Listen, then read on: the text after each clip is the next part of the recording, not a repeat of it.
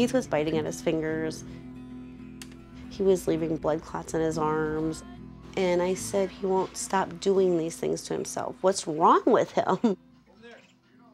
They had been running tests on him for two and a half years.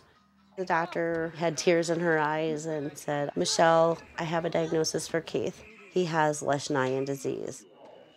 And she told me, You have no idea what you're in for. These kids are very self destructive. They will poke at their eyes, gouge at their gums, bite their lips off. And not only do they harm themselves, but they start being aggressive towards you.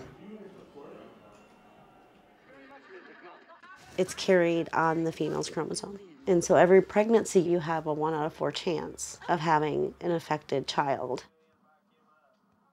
I finally said, you know, I'm going to get my tubes tied. This is it. I'm done. The doctor looked at me and said, no, you're pregnant.